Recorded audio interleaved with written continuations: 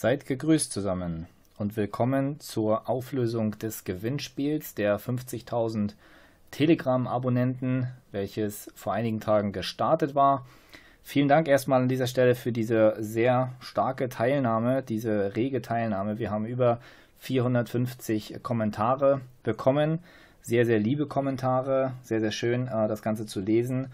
Und ähm, vorab möchte ich genau aus diesem Grund mal ein paar Kommentare erläutern, beziehungsweise auf ein paar Kommentare eingehen, diese erstmal vorlesen und dann, ähm, und dann darauf mal äh, ein, paar, ein paar Worte zu sagen. Der erste Kommentar ist von Sandra. Sandra sagt, äh, danke für euren Kanal. Er ist zu unserem Wetterbericht geworden. Das äh, lesen wir natürlich sehr, sehr gerne, obwohl wir keine Meteorologen sind und an dieser Stelle wirklich nochmal betonen wollen, dass es nur unsere unsere Ansicht der Dinge ist. Also ähm, die Geschichten da draußen, die haben halt nicht wirklich Sinn ergeben. Das ist unserer Ansicht nach so ein bisschen, ja, wie sagt man dazu, Hinhaltetaktik. Ähm, das große Problem ist, dass einfach Informationen nicht erwähnt werden. Es wird auf Informationen rumgeritten, ähm, die nicht weiter wichtig sind. Das, was da draußen gespielt wird, ist unserer Ansicht nach ähm, zu vergleichen mit einem Puzzle. Bei diesem Puzzle fehlen leider einige Teile, die ähm, relevant wären, um das Puzzle vervollständigen zu können. Und jetzt geht es eben darum, dass wenn man das erstmal ähm, begriffen hat, dass man diese Puzzleteile einfach findet und äh, dann eben selber prüft und schaut und testet, ob sie für einen selbst Sinn ergeben und ob sie auch wirklich das Puzzle vervollständigen. Und alle Puzzleteile, die irgendwie faul sind, die sich eingeschlichen haben, die einem aufgezwungen werden, aufgedrückt werden oder was auch immer, diese auszusortieren und dann wirklich die ähm, Puzzleteile, die das Puzzle voranbringen, ähm, zu behalten und äh, ja, wertzuschätzen. Und das ist im Prinzip das, was wir gemacht haben. Und ähm, deswegen, also wir ersetzen jetzt keinen Wetterbericht. Ich selber schaue hin und wieder auch Wetterbericht, ist ganz klar, ähm, weil die auch sehr gute Modelle haben, mit denen sich Informationen halt äh, analysieren lassen und ähm, sehr genaue Karten haben, Infrarotradar und so weiter und so fort. Das sind ja schon sehr schöne Informationen, die da so sind. Allerdings ist es eben da unserer Ansicht nach, wie auch äh, sonst wo in allen anderen Bereichen dieser Welt, ähm, dass eben Informationen fehlen oder bewusst weggelassen werden.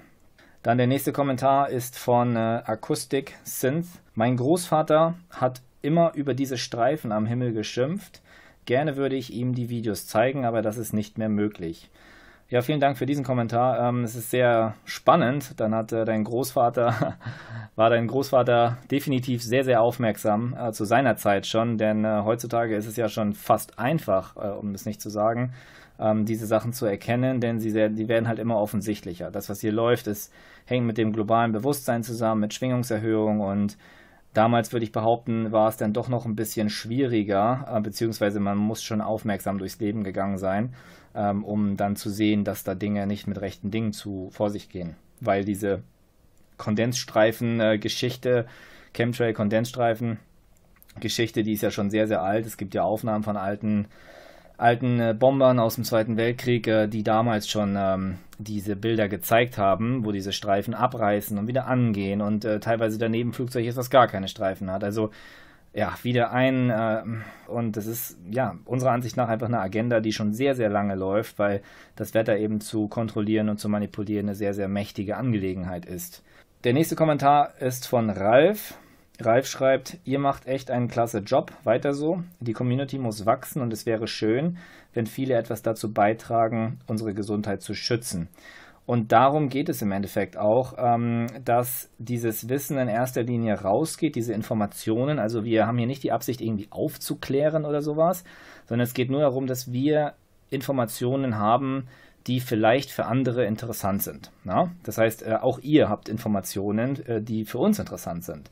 Ähm, das heißt, es ist ein ständiger Informationsaustausch. Wir sind nun mal im Informationszeitalter und darum geht es. Und das Einzige, was wir hier machen, sind Informationen zu teilen, die ähm, eben auffällig sind, die unserer Ansicht nach Sinn ergeben und die sonst nirgends auftauchen, selbst in den Alternativen nicht. Ähm, bei den Alternativen gibt es ja leider auch sogenannte Gatekeeper, ähm, die dich dann auffangen ähm, und dann in eine bestimmte Richtung lenken sollen, sodass man da dann quasi in so einer Art Loop feststeckt und da nicht rauskommt, in so einer Endlosschleife, ähm, die dich quasi bespaßen den ganzen Tag lang und äh, interessante Dinge äh, teilen, aber sie im Endeffekt für das Vorangehen der Welt nicht wichtig sind. Das heißt, sie, sie halten dich fest in so einer in Anführungszeichen aufgewachten Blase, in der du, aus der du aber nicht rauskommst, weil ähm, es bewusst eingerichtet ist dafür, wie so eine Art Auffangbecken. Dann ein weiterer Kommentar ist von Annette. Danke für die unermüdliche Aufklärung. Ich bin seit Februar dabei und über alle Maße fasziniert. Leider halt oft negativ. Ähm, diese Sache mit dem Negativ und Positiv ist, das ist so ein Ding, weil Informationen sind in erster Linie Informationen. Ne? Also wenn man jetzt mal ein Beispiel nimmt, wenn ich dir Geld wegnehme, beispielsweise beklaue, angenommen ich beklaue dich, dann ist es für dich negativ und für mich positiv.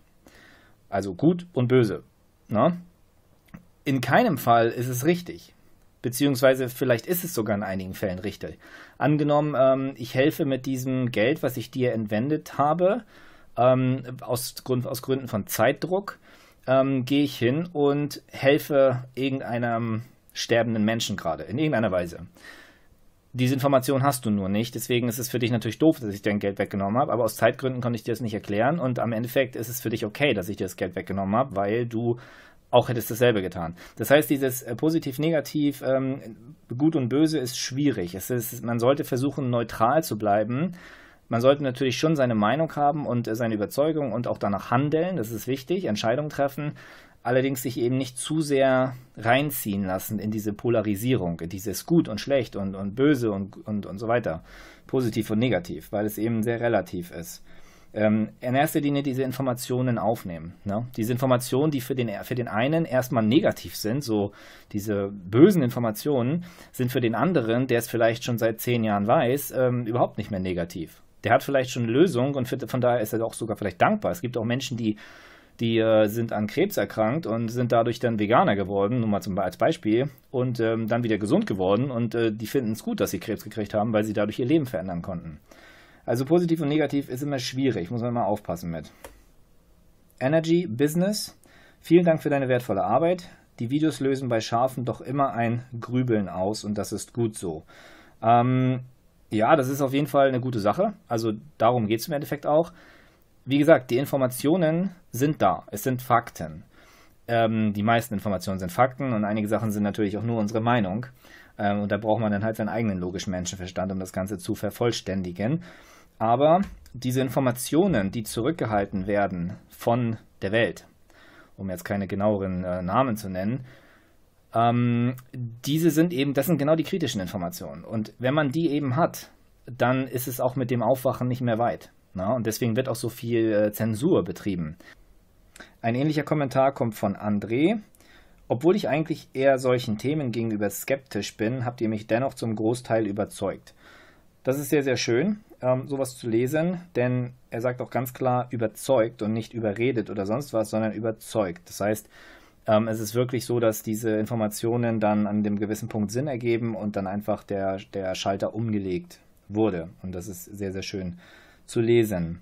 Dann noch ein weiterer Kommentar von der Katrin. Danke von Herzen. Wir schaffen es, die neue Welt auf die Welt zu bringen, gemeinsam. Jupp, nichts hinzuzufügen, genau darum geht es. Gemeinsam in die Eigenverantwortung, äh, nicht mehr die Verantwortung abzugeben, äh, nicht die Verantwortung an irgendeine Industrie abzugeben, also die Finanzen nicht an die Banker abzugeben, die Gesundheit nicht an die Pharma abzugeben, ähm, die, wie sagt man jetzt, Informationsbeschaffung nicht an die Medien auszulagern, sondern selber hinzugehen und die Informationen zu beschaffen, sich nicht mehr berieseln lassen, einfach wieder die Verantwortung zu übernehmen für die unterschiedlichsten Bereiche seines Lebens. Ne, weil diese Verantwortung wird leider in der Vergangenheit ziemlich oft ausgenutzt und das ist das, ist das wo wir jetzt gerade drin hocken. Ähm, die, die, ähm, das Vertrauen wurde quasi gekauft ergattert mit psychologischen Spielchen, wie zum Beispiel Anzüge, Anzug, Schlips und Kragen und schon hast du irgendwie, wirkst du seriös und hast ein Vertrauen. Ne? Und äh, meistens ist es dann das ganze Gegenteil. Das heißt, das Vertrauen wird in vielen Bereichen einfach ähm, ja, erkauft, ergattert durch Titel, irgendwelche Professorentitel, Doktortitel und schon glaubt man der Person mehr als jemandem, der keinen Titel hat. Also schwierig. Sollte man aufpassen. Und ein weiterer Kommentar ist von Mehia. Mehia sagt, Danke für all deine wertvollen Informationen. Es ist wirklich so offensichtlich, was hier vor sich geht. Die haben hier inzwischen schon nahezu einen festen Zeitplan für die Sprühaktion. Ja, ähm, auf jeden Fall. Also ist jetzt unser Kommentar auf jeden Fall. Ähm, das Ganze ist eine Agenda und diese folgt einem Plan. Das heißt, da sind äh, Menschen, die Geld dafür bekommen, dass sie äh, Briefings machen, dann in ihre Maschinen einsteigen und so weiter und so fort. Teilweise Linienflugzeuge, wie auch immer. da steckt auf jeden Fall ein Plan hinter. Und weil da ein Plan hinter steckt, weil es künstlich ist, von Menschen gemacht, ein menschengemachter Klimawandel, hat das ganze Muster. Und diese Muster kann man erkennen, diese Muster kann man herausfinden und dann dementsprechende Aktionen äh, auf, die, auf die Beine stellen.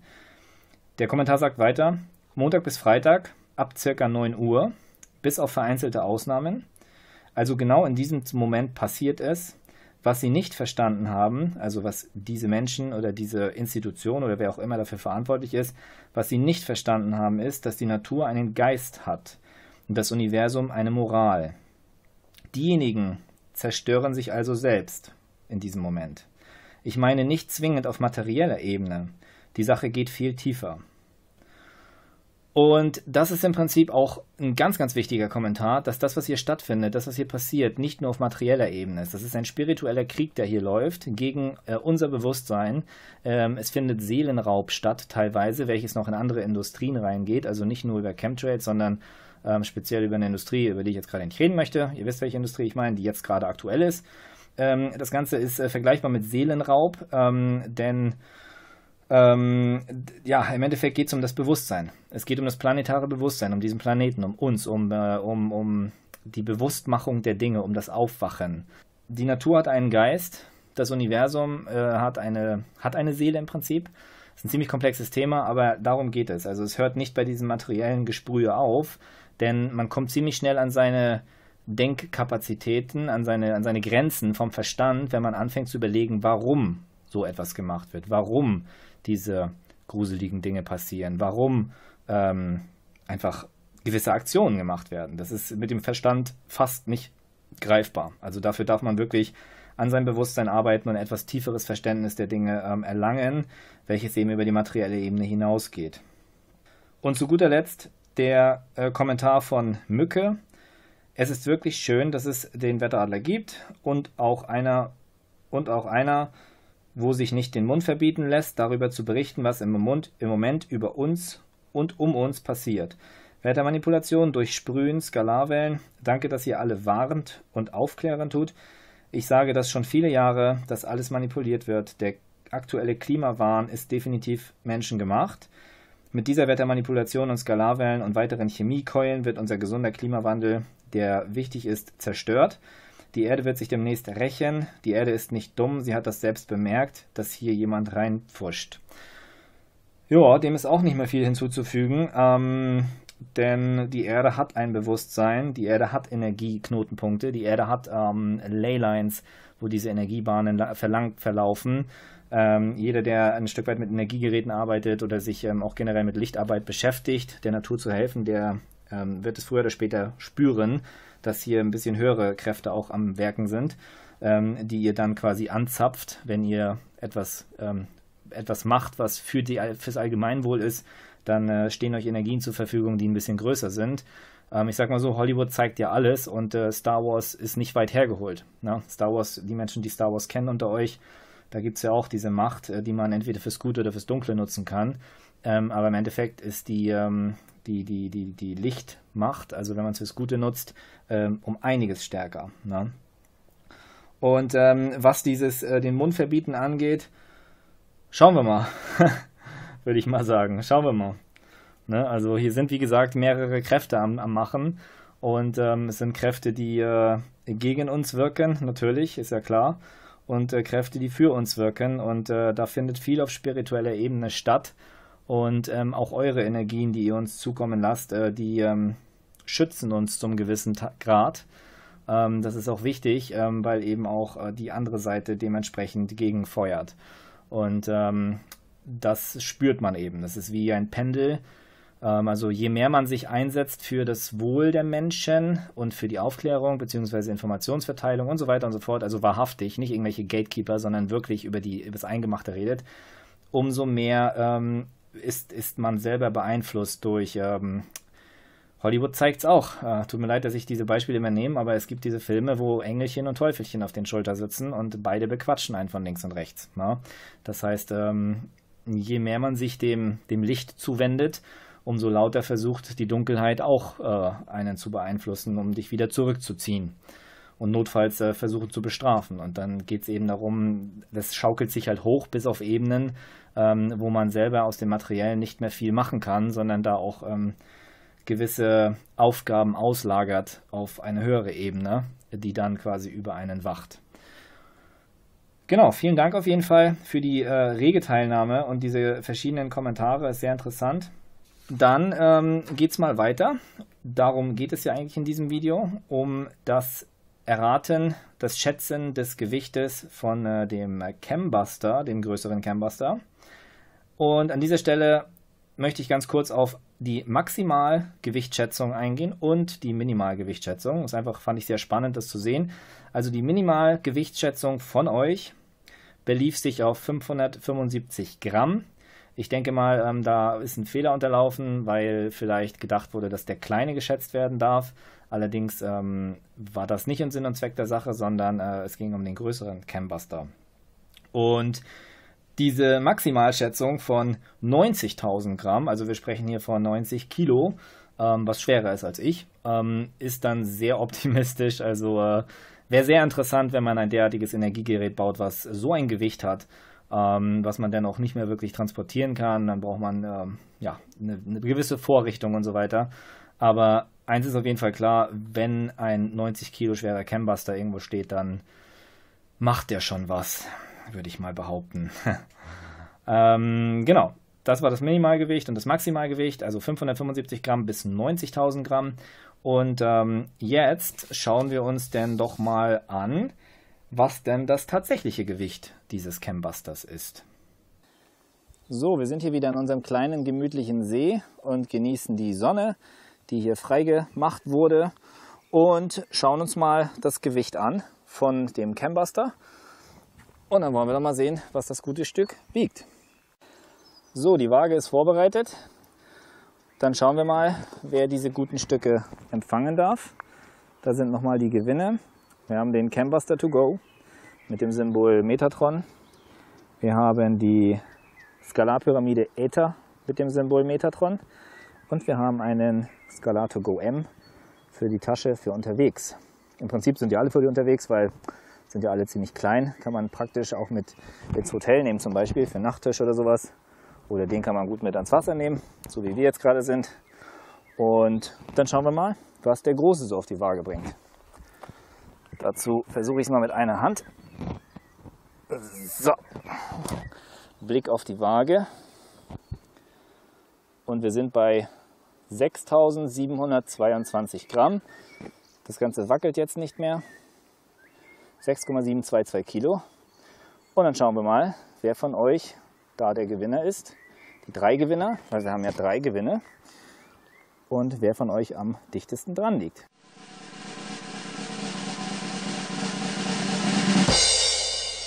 Unsere Gewinnerin ist Steffi L. Sie hat geschätzt 6730 Gramm. Damit ist Steffi nur 8 Gramm über dem tatsächlichen Gewicht. Das ist schon äh, sehr, sehr cool. Und Ihr Kommentar lautet, klasse Kanal, bitte macht unbedingt weiter so. Danke. Danke für deine Teilnahme, Steffi. Du kannst uns gerne eine E-Mail schreiben. Innerhalb einer Woche würden wir die E-Mail gerne sehen. Und äh, dann kannst du dir ein Gerät aussuchen, den Cambuster to go, die Skalarpyramide Ether 10 cm oder den Scalar to go M. Und jetzt haben wir aber auch noch äh, zwei weitere Gewinner und die kommen jetzt.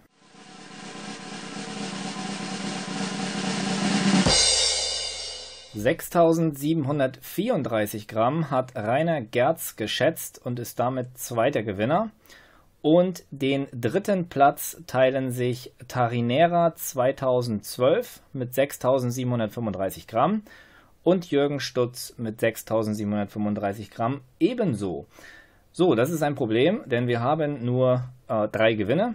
Und dann werden wir jetzt einfach mal ganz klassisch würfeln, wer von euch beiden dann den dritten Platz äh, belegen wird. Auf jeden Fall herzlichen Glückwunsch schon mal an die Steffi, an den Rainer. Ihr könnt euch gerne bei uns melden, wie gesagt, info.wetteradler.de. Die Steffi als erste Gewinnerin darf sich natürlich äh, den Gewinn aussuchen und angenommen, der Rainer schreibt jetzt äh, früher, dann ähm, darf Rainer sich noch ein bisschen gedulden, bis die Steffi geschrieben hat. Eine Woche Zeit gibt es für das Ganze. Ansonsten ähm, bekommt der Rainer die freie Wahl. Und wenn die Steffi sich dann etwas ausgesucht hat, was sie gerne hätte, dann ähm, darf der Rainer sich von den beiden übrigen Geräten eins aussuchen. Und wer dann das letzte Gerät bekommt, das entscheidet der Würfel. So, hier befinden wir uns jetzt auf dem Spielfeld um den dritten Platz sozusagen. Das Ganze ist ein klassischer Würfel. Der ist auch nicht magnetisch oder getürkt oder sonst was. Das ist ein ganz normaler Würfel. Und äh, ja, jetzt schauen wir mal, wer den dritten Platz belegen darf. Dazu würde ich sagen, ist die Atari Nera 2012 die Zahl 1, 2 und 3. Also 1 bis 3 ist Atari Nera. Und der Jürgen würde dann 4, 5 und 6 bedeuten. Das heißt, fällt die 5, kriegt es der Jürgen, fällt die 2, kriegt es die Tarinera und so weiter. 50-50. Und dann würde ich sagen, dann würfeln wir mal. Das sieht mir sehr stark nach dem Jürgen aus. Tut mir leid, Tarinera, das ist echt mies, ich weiß, aber das ist ein Spiel. Und vielen Dank auf jeden Fall für die Teilnahme. Und lieber Jürgen, du kannst uns gerne eine E-Mail schicken und innerhalb einer Woche bitte, ansonsten verfällt das Ganze. Und ich bedanke mich bei allen Teilnehmern, bei 455 Menschen waren das, glaube ich. Ähm, es war super schön, eure Kommentare zu lesen, das Feedback zu bekommen. Vielen Dank für die Teilnahme und ich wünsche euch ein wunderschönes Wochenende.